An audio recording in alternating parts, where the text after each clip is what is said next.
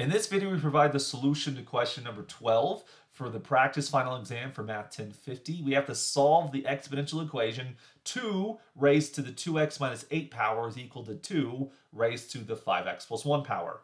Now, as exponential functions are one to one, if you ever have the expression that a to the m equals a to the n, you can essentially just cancel out the bases and you end up with m is equal to n. So if two exponential expressions of the same base are equal, it must be that their exponents are equal. So since both sides of, these equa of this equation involve uh, a power of 2, we can actually remove the 2 from play and just set the exponents equal to each other. So this becomes 2x minus 8 is equal to 5x plus 1. Solving this equation, I'm going to subtract 2x from both sides. I'm going to subtract 1 from both sides. We end up with, uh, on the left-hand side, negative 8 minus 1 is a negative 9. On the right-hand side, 5x minus 2x is a 3x. So we want to divide both sides by 3, and we end up with x being equal to negative 3. So we see that the correct answer would be choice F.